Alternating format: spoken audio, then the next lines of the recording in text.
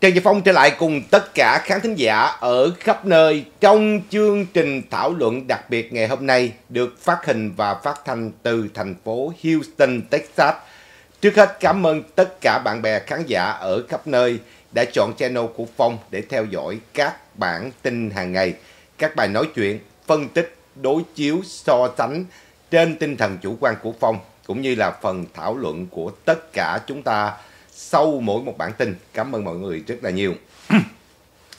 Và như thường lệ, mỗi một ngày thì chúng ta vẫn có chương trình thảo luận đặc biệt, chủ yếu là tìm hiểu sâu mỗi một vấn đề xung quanh chúng ta. Và chương trình này đáng lý được phát trực tiếp trên Facebook và được phát lại trên YouTube.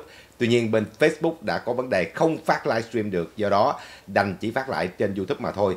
Cáo lỗi cùng tất cả các thính giả ở khắp nơi.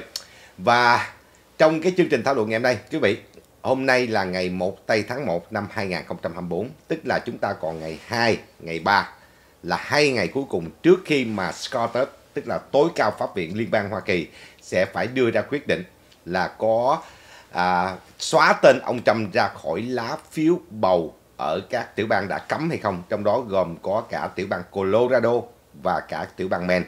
Colorado thì họ đã dừng lại họ đã dừng lại cái uh, quyết định của họ cho tới ngày 4 tây để mà chờ cái phán quyết của tối cao pháp viện. Riêng tiểu bang Maine thì à, uh, động lý văn phòng tại tiểu bang này, tức là người chịu trách nhiệm về vấn đề bầu cử của tiểu bang này, đã quyết định xóa tên ông Trump trên lá phiếu bầu và team à, vận động tranh cử của ông Trump, ông Trump cũng đã nộp đơn lên tại à, tòa tối cao pháp viện của tiểu bang Maine và chúng ta đang chờ đợi tất cả những cái quyết định của những tiểu bang này. Tuy nhiên, trong cái bài nói chuyện ngày hôm nay thì tôi có thể nói là đưa ra một cái nhận định bất kể bất kể Scotus tức là à, tối cao pháp viện của liên bang đưa ra quyết định như thế nào thì nó cũng sẽ bật đèn xanh cho chiến thắng vĩ đại của ông Trump. Dù cái quyết định đó bất lợi cho ổng hay là à, đúng theo cái hiến pháp thì quý vị nó cũng sẽ bật đèn xanh tôi gọi là nó là open cái green light tức là nó sẽ mở ra cái đèn xanh cho ổng để ổng có thể chiến thắng một cách vĩ đại hơn. Và quý vị bất kể cái quyết định cấm hay không cấm thì ông Trump vẫn chiến thắng.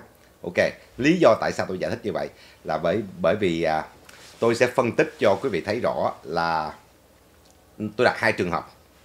Trường hợp tối cao pháp viện sẽ đồng ý là quyền hiến định à, của một công dân Hoa Kỳ có quyền tranh cử ở bất cứ vị trí nào. Nếu người đó đưa sanh ra Hoa Kỳ đều có quyền tranh cử tổng thống và không ai cản trở được cái quyền này của họ.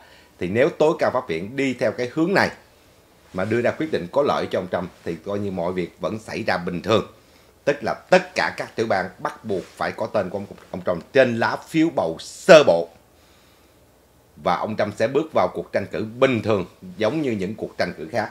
Và với cái rating mà quý vị thấy được thì có vẻ như là ông Trump đang nắm chắc cái ghế đại diện cho đảng Cộng Hòa ra tranh cử. Bởi vì những người mà đứng thứ hai, thứ ba sau lưng ổng, từ Nikki Haley cho tới Ron DeSantis đều thua cái mức điểm quá xa. Thua cái mức điểm quá xa, ổng chiếm tới 5-60%, có thể hơn cả 60% ở một ở nhiều tiểu bang. Trong khi những người này chỉ bò không tới được 20% nữa. Không tới được 20% trong tổng số phiếu bầu nữa. Do đó thì à, nếu như tối cao pháp viện đưa ra cái quyết định có lợi cho ông Trump mà nhiều giới truyền thông Mỹ thì cho rằng tối cao pháp viện sẽ đưa ra quyết định này bởi vì họ à, không phải họ dựa trên cái bản hiến pháp mà tôi vừa nói đâu mà họ dựa trên cái tinh thần đảng phái để họ đưa ra cái, à, kết luận này. Bởi vì trong tổng, tổng cộng 6 quan tòa trong tối cao pháp viện 6 người là bảo thủ 3 người là cấp tiến. Mà trong 6 người bảo thủ này ba người là ông Trump bổ nhiệm họ dựa trên cái yếu tố này và họ cho rằng là tối cao pháp viện sẽ đưa ra cái phán quyết có lợi cho ông Trump. Có nghĩa là sẽ nghiêm cấm tất cả các tiểu bang không được phép xóa tên ông Trump trên lá phiếu bầu kể cả Colorado và tiểu bang Maine. Thì quý vị đây sẽ là một trong những cái điều mà các cái công ty truyền thông các uh, luật sư về hiến pháp cũng như là các giáo sư luật đều đưa ra cái nhận định này. Và thậm chí có nhiều người lại đưa ra lời kêu gọi là tối cao pháp viện phải nhanh chóng đưa ra quyết định để chấm dứt tình trạng mà à, có cái à, chiến, chiến dịch gọi là xóa tên một ứng cử viên trên lá phiếu bầu và ngay cả những đối thủ của ông Trump cũng muốn là cạnh tranh với ông Trump bằng lá phiếu chứ không phải là quyết định của tòa án. Do đó, nhiều cơ quan truyền thông nhận định, không phải riêng tôi, từ CNN cho tới uh, New York Times kể cả tờ Washington Post tờ báo được xem là có cái à, cái khuynh hướng mà gọi là chỉ trích ông Trump và gần như là kẻ thù của ông Trump luôn. Họ cũng lên tiếng và họ nói rõ ràng là tối cao pháp viện sẽ đưa ra quyết định có lợi cho ông Trump. Tức là cuối cùng thì tên ông Trump sẽ có trên à, phiếu bầu ở khắp nơi. Đó là cái nhận định của các công ty truyền thông là cuối cùng thì tối cao pháp viện và nếu như tối cao pháp viện đưa ra quyết định có lợi cho ông Trump thì có nghĩa là sẽ ảnh hưởng với một số những vấn đề. Thứ nhất là cái vụ án xét xử ông Trump có thể sẽ bị trì hoãn cho tới qua khỏi bầu cử. Đặc biệt là cái vụ án liên quan tới ngày 6 tây tháng 1. Đáng lý ấn định là ngày à, 3 tây tháng 4. Nhưng mà bà tòa đã dời lại. Thì bây giờ phía của Jack Smith đang thúc đẩy, nhưng mà chưa chắc được. Nó còn lệ thuộc vào cái quyết định của tối cao pháp viện vì nó ảnh hưởng luôn cả vụ án này. Do đó quý vị, về mặt tối cao pháp viện, nếu đưa ra quyết định này thì những cái cáo trạng nhắm vào ông Trump có thể sẽ bị dời qua sau tháng 11 bầu cử. Đó là cái điều thứ nhất mà tôi nhận định. Nếu Scott, tức là tối cao pháp viện đưa ra quyết định này. Và thứ hai là ông Trump sẽ phải đi theo cái lộ trình bình thường của một cuộc tranh cử.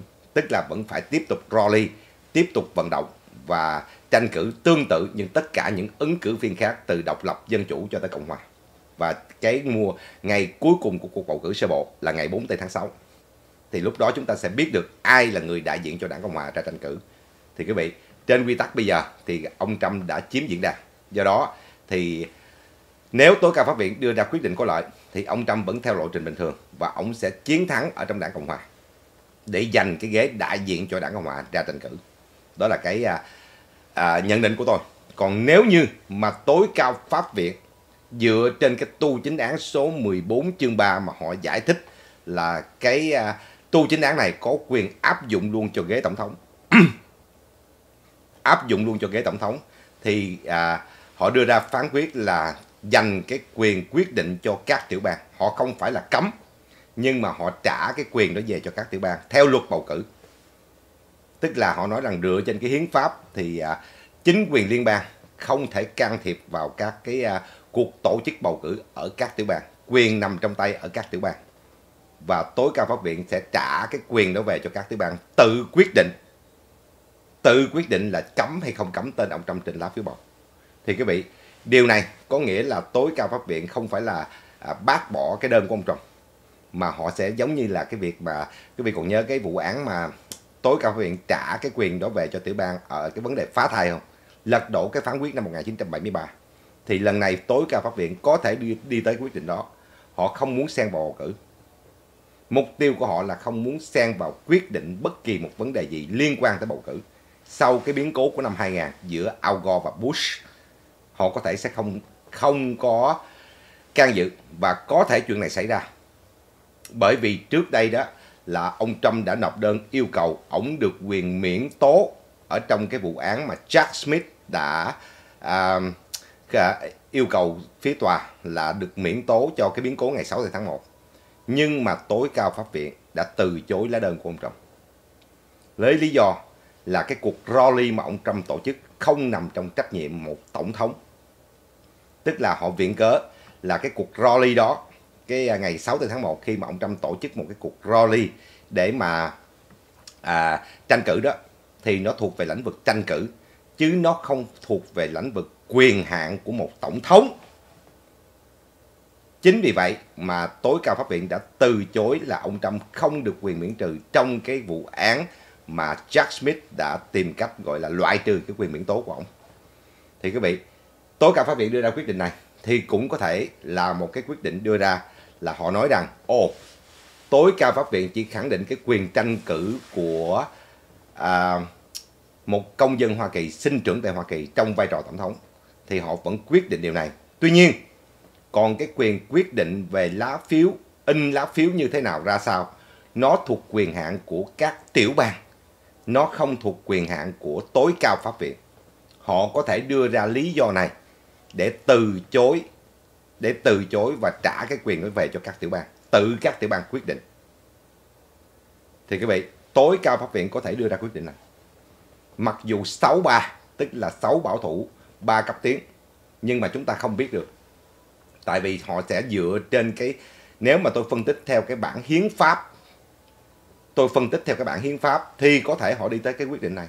Họ không phải là họ cho phép hay là không cho phép, mà họ nói rằng họ sẽ đưa ra cái quyết định là quyền bầu cử, tổ chức bầu cử và quy định của bầu cử như thế nào.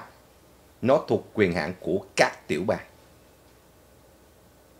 do đó quý vị chúng ta chưa biết được cái quyết định. Tuy nhiên nếu tôi assume nếu tôi dự đoán mà tối cao pháp viện đưa ra quyết định bất lợi cho ông Trump tức là nhiều tiểu bang sẽ bắt đầu thực hiện cái uh, quy tắc bầu cử của mình thì quý vị thấy là nhiều tiểu bang kể cả những tiểu bang chiến lược đã từ chối hết rồi.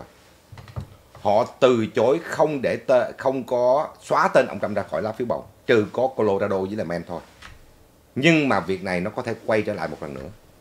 Khi tối cao pháp viện đưa ra quyết định thì nó sẽ push một lần nữa để đẩy các cái tối cao pháp viện của các tiểu bang đưa ra quyết định. Chứ không phải tối cao pháp viện của liên bang. Tức là cái án của Colorado sẽ được duy trì.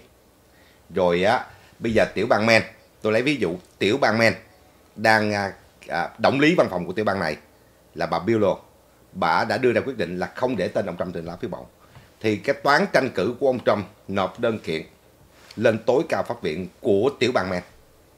Thì bây giờ là tối cao pháp viện của từng tiểu bang sẽ là nơi quyết định sau cùng. Sẽ là nơi quyết định sau cùng, chứ không phải là liên bang nữa. Vì họ sẽ không can dự vào, họ không xen vào, họ trả về. Thì quý vị, có thể sẽ có những cái đơn nộp trả lại và sự chống trả của phía bên ông Trump về mặt pháp lý thì nó sẽ đi tới tình trạng này. Có thể xảy ra. Tức là cái team mà tranh cử trong Trump sẽ nộp đơn ở những tiểu bang nào đội xóa tên ông để kiện lên tối cao pháp viện của tiểu bang. Và kể cả những tiểu bang đã quyết định ví dụ như ngày hôm uh, tuần trước California động lý văn phòng của tiểu bang quyết định duy trì tên ông Trump trên lá phiếu bầu.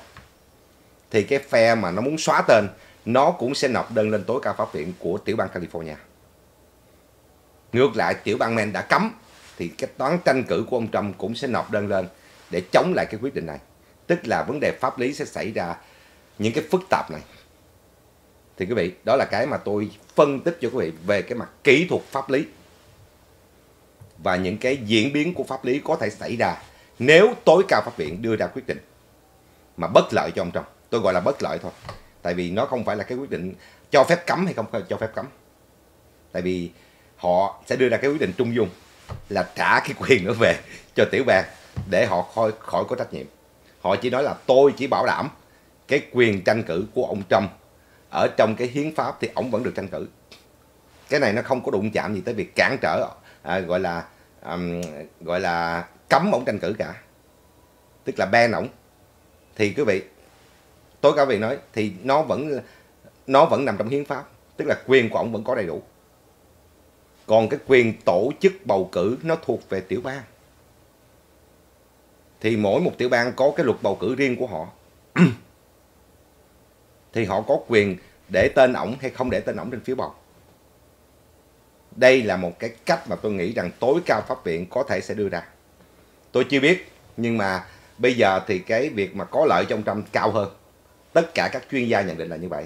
Nhưng mà một cái phần khác thì người ta hy vọng là tối cao pháp viện sẽ không xen vào thì quý vị, mình chưa biết bây giờ cái phần mà có lợi cho ông Trump, tôi đã phân tích. Còn cái phần bất lợi cho ông Trump thì nó sẽ đi tới tình trạng về mặt pháp lý sẽ có nhiều đơn kiện tụng ở các tiểu bang mà muốn xóa tên. Đó là điều thứ nhất. Điều thứ hai, cuối cùng quyết định ở cử tri. Tức là những tiểu bang nào quyết định cấm không để tên ông Trump trên lá phiếu bầu. Thì quý vị, nó sẽ có hai trường hợp xảy ra trường hợp thứ nhất là đảng cộng hòa ở tiểu bang đó. Họ sẽ quyết định không bầu cử sơ bộ cho ghế tổng thống. Mà họ sẽ họp lại trong nội bộ đảng để quyết định đề cử ai ra tranh cử. Tại vì cái lệnh này nó nằm ở cái mức gọi là bầu cử sơ bộ, primary election, chứ chưa có apply, chưa có chính thức là nằm trong cái cuộc bầu tổng tuyển cử. Do đó thì đảng Cộng Hòa có cái quyết định, họ sẽ đi tới cái quyết định, một số tiểu bang, họ sẽ đi tới quyết định là họ sẽ không tổ chức bầu cử sơ bộ cho cái ghế tổng thống mà họ sẽ họp nội bộ đảng lại. Và nó là census quý vị là họ sẽ đưa ra ai là người đại diện cho đảng cộng hòa ra tranh cử ghế tổng thống. Và tiểu bang Iowa là cái tiểu bang đang có cái uh, tình trạng này đó. 15 tây tháng 1 thì tiểu bang Iowa chính thức sẽ chọn ai đại diện cho tiểu bang này ra tranh cử tổng thống. 23 tây tháng 1 là New Hampshire là tiểu bang đầu tiên bầu cử sơ bộ. Nhưng 15 tây tháng 1 Iowa là cái tiểu bang đầu tiên quyết định ai là người đại diện. Thì những đảng viên Cộng hòa ở tại Iowa không có tổ chức bầu cử sơ bộ cho ghế tổng thống. Thì quý vị, tình trạng này nó sẽ xảy ra ở những tiểu bang đó. Tức là thứ nhất là các thành viên của đảng cộng hòa ở trên toàn quốc, ở nhiều tiểu bang, nhất là những tiểu bang nào mà có mà quyết định là xóa tên ông Trump từ lá phiếu bầu họ sẽ tổ chức bầu cử sơ bộ. À, họ sẽ tổ chức là cái cuộc họp để quyết định đề cử. Thay vì theo quy tắc là phải chiếm hơn phân nửa trong tổng số đại biểu đoàn trên toàn quốc sau cái kết quả bầu cử sơ bộ thì bây giờ các đại biểu đoàn này sẽ tự bỏ phiếu luôn. Sẽ tự bỏ phiếu cho ai là người đại diện. Thì quý vị nó không còn thông qua cái cuộc bầu cử ở địa phương nữa. Thay vì lúc trước là đại biểu đoàn, là đại biểu của cái khối cử tri ở địa phương. Cử tri địa phương mà của cái district đó, họ chọn ai? Thì cái người đại biểu đoàn đó sẽ cầm cái bản record, tức là cầm cái à, kết quả đó và trình lên trên đảng. Trong cái ngày à, đại hội của đảng Cộng Hòa, ngày 15 cho tới ngày 18 tây tháng à, tháng 8 sắp tới. Thì quý vị trong đó họ sẽ trình ra là a à, tiểu bang này bỏ phiếu ở cái ở cái uh, quận hạt của tôi thì bây giờ họ chọn Donald Trump. Và tôi xác nhận Donald Trump là người đã thắng ở chỗ của tôi. Thì cộng lại hết thì nó hơn phân nửa trong tổng số đại biểu đoàn trên toàn quốc. Thì năm nay đại biểu đoàn của Đảng Cộng Hòa là 200 2.449 đại biểu đoàn. Thì có nghĩa là nếu muốn chiến thắng thì phải được là 1.235 đại biểu đoàn đây là cái quy định. Phân nửa hơn phân nửa.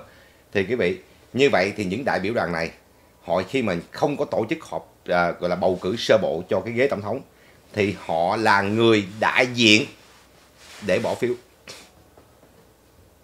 Họ là người đại diện thì quý vị nó sẽ đi tới tình trạng này. Và tình trạng này kết quả thì một số thứ nhất là một số tiểu bang sẽ quyết định không tổ chức bầu cử sơ bộ và chọn người luôn.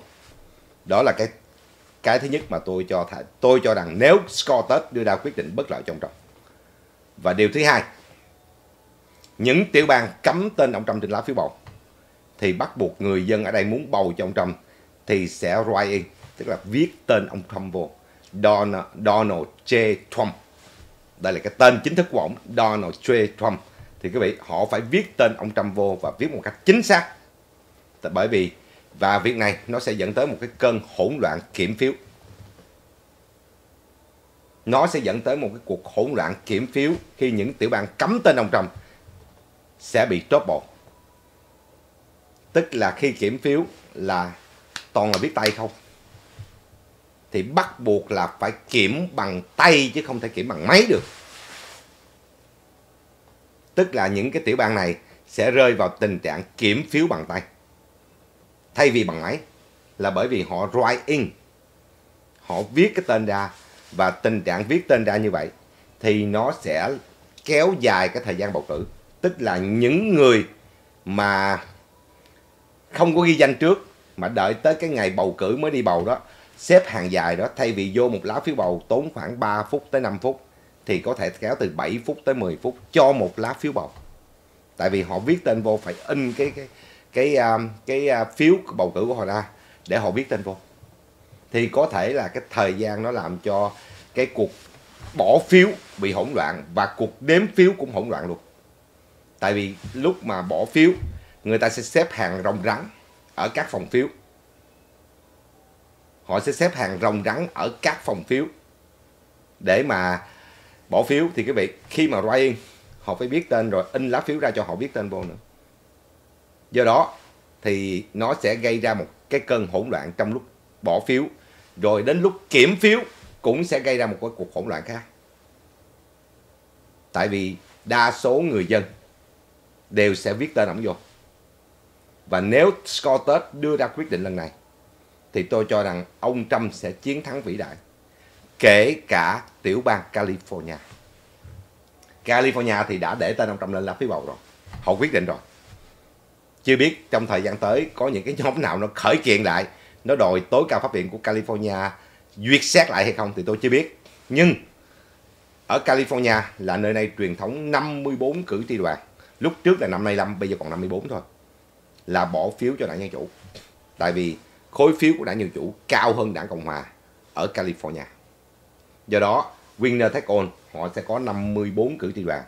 Tuy nhiên, với cái quyết định của tối cao pháp viện Scottus mà đưa ra bất lợi cho ông Trump, nó sẽ dẫn tới cái phản ứng ngược.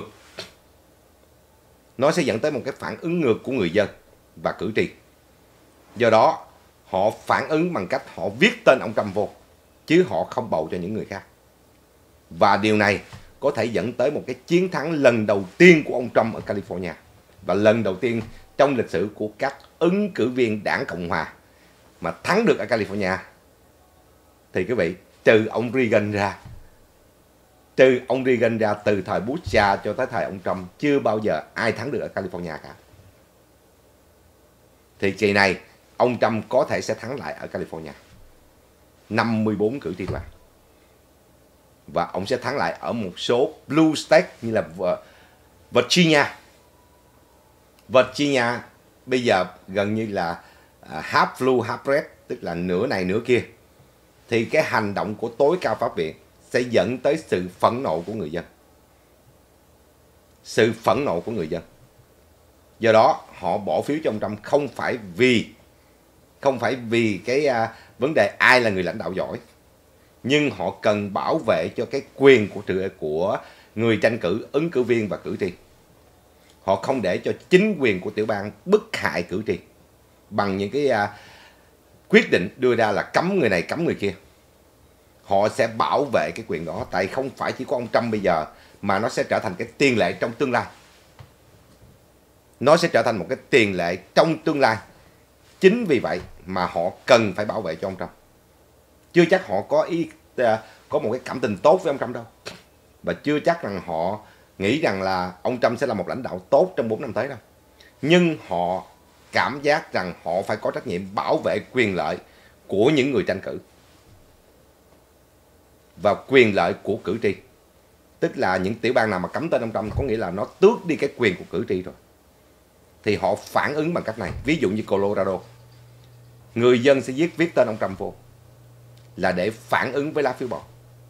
Riêng tiểu bang Maine có cấm hay không cấm, ông Trump vẫn thắng ở đây. Tại vì tiểu bang Maine và tiểu bang Nebraska là hai tiểu bang cử tri ai nấy giữ chứ không phải là winner take all. Do đó Maine có có bốn cử tri đoàn. Thì thường thường á, là hai hai Đảng Dân Chủ thắng 2, Đảng Cộng Hòa thắng 2 thì chia ra mỗi đảng lấy hai. Rồi cái kỳ rồi thì Joe Biden thắng được 3, ông Trump được một. Thì ông Trump vẫn giữ được một này. Thì quý vị, cái quyết định của tiểu bang Maine thì á, những cử tri của đảng cộng hòa họ vẫn viết tên ông Trump vào dù không in tên ông trên lá phiếu bầu thì vẫn viết tên của ông vô như thường. Do đó nó sẽ trả, tạo ra một cái phản ứng về mặt cử tri. Họ phải bảo vệ cái quyền tranh cử và cái quyền đi bỏ phiếu. Do đó họ viết tên ông Trump. Và chính điều này nó tạo ra một cái chiến thắng vĩ đại cho ông Trump.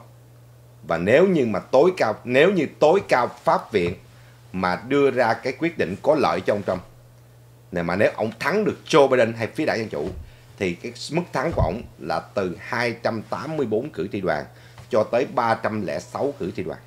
Tức là trên con số 270 nếu ông thắng thì ở mức này 284 cho tới 306 cử tri đoàn. Nếu ông thắng ở 7 tiểu bang chiến lược ít nhất là hai mấy đếm trong các tiểu bang chiến lược ông thắng thì khoảng 306 cử tri đoàn. Tuy nhiên, nếu tối cao pháp viện quyết định trả tất cả các quyền về cho tiểu bang, gây bất lợi cho ông Trump trong lá phiếu bầu thì năm nay, ông Trump sẽ thắng từ 350 cho tới 400 cử tri đoàn, trong tổng số 538 cử tri đoàn. Tổng số 538 cử tri đoàn, thì năm nay ông Trump sẽ thắng từ 350 cho tới 400. Do phản ứng của người dân. Không phải họ chỉ bảo vệ cho cái người đi tranh cử như ông Trump mà họ còn phải bảo vệ cho quyền bỏ phiếu của họ nữa. Và cái khối phiếu độc lập lẫn khối phiếu cộng hòa sẽ gần như là sẽ đứng về ông Trump. Toàn bộ khối phiếu của đảng cộng hòa họ sẽ đứng về phía của ông Trump. Các cái khối phiếu độc lập cũng sẽ nghiêng về phía ông Trump. Và một phần của đảng dân chủ, họ cũng sẽ nghiêng về phía ông Trump. Là bởi vì họ phải bảo vệ cho cái quyền bỏ phiếu của họ và đồng thời họ bảo vệ cho những ứng cử viên ra tranh cử, bất kể như thế nào. Tại vì đó mới chính là giá trị của dân chủ. Không thể dùng pháp lý, dùng những cái công cụ, phương tiện pháp lý để mà ngăn chặn tên của một ứng cử viên trên lá phiếu bầu. Họ sẽ phản ứng bằng cách này. Do đó quý vị, cho nên tôi mới nói, đưa ra cái kết luận là bất kể Scottus đưa ra quyết định như thế nào thì cũng bật đèn xanh cho sự chiến thắng của Donald Trump. Nếu tranh cử bình thường, nếu tranh cử bình thường, tức là ông Trump có tên ông có tất cả trên lá phiếu bầu ở các tiểu bang, thì quý vị, tới giờ phút này, ông gác Joe Biden 6 trên 7 tiểu bang. Ông chỉ tương đương với Joe Biden ở Wisconsin Tức là một bên 45, một bên 46 thôi. Nhưng mà còn lại 6 tiểu, 5 tiểu bang khác là Michigan, rồi Pennsylvania, North Carolina, Georgia, Nevada và Arizona. 6 tiểu bang này là ông Trump gác từ 4% cho tới 9%. Ngay bây giờ, chỉ có Wisconsin là hai bên tương đồng với nhau. Cái mức sai biệt không nhiều. Thì quý vị, như vậy cho nên tôi mới đoán là nếu bầu cử một cách bình thường và cái lộ trình đang có bây giờ, trừ khi nó có những biến động, mà chưa biết những biến động đó có lợi trong trăm hay bất lợi trong trăm mình chưa biết. Thì ít nhất trên cái rating bây giờ còn 10 tháng nữa. Bây giờ là tháng 1 rồi, còn 10 tháng nữa là chúng ta sẽ đi vào cuộc bầu cử rồi. Thì quý vị, ông Trump sẽ thắng bên dân chủ. Tôi không biết là ai đại diện cho đảng dân chủ. Từ 8 284 cho tới 306 cử tri đoàn. Nếu ổng có tên của ổng được Scottus đưa ra cái quyết định có lợi cho ổng. Còn nếu Scottus mà đưa ra cái quyết định bất lợi cho ổng, thì giống như lúc nãy tôi nói, sẽ có cuộc hỗn loạn trong kiểm phiếu và điểm phiếu. Và đồng thời, người dân phản ứng, cử tri phản ứng. Và nó sẽ là một cái cuộc chiến thắng gọi là web out luôn, vĩ đại luôn. Mà nếu ông Trump thắng từ 350 cho tới 400 cử tri đoàn thì lần đầu tiên kể từ thời của à, Roosevelt Franklin tới bây giờ là lần đầu tiên có một tổng thống mà thắng cử một cách khủng khiếp như vậy. Chưa bao giờ có, kể cả thời của Reagan. Do đó quý vị, tôi nói với quý vị là lần này nếu tối cao pháp viện Scottus mà đưa ra quyết định kiểu nào thì vẫn sẽ có lợi trong trong. Dù quyết định nó bất lợi hay không lợi nhưng nó sẽ bật đèn xanh cho sự chiến thắng vĩ đại của ông Trump. Đó là cái nhận định và cái bài phân tích của tôi liên quan tới cái à, quyết định sắp tới tại vì hôm nay ngày 1 tây rồi. Từ đây tới ngày 4 tây thì tối cao pháp viện phải đưa ra cái quyết định của Colorado. Và chúng ta chờ xem coi quyết định đó như thế nào. Nhưng với cái bài phân tích hôm nay của tôi cho quý vị thấy cỡ nào ông Trump cũng thắng. Cảm ơn tất cả các thính giả rất là nhiều cho bài nói chuyện này. Phong sẽ trở lại cùng tất cả khán thính giả ở khắp nơi trong những chương trình kế tiếp của TNP Channel. Xin quý vị và các bạn nhớ đón nghe và theo dõi. Mến chào tất cả khán thính giả và chúng ta sẽ gặp lại sau. Bye bye.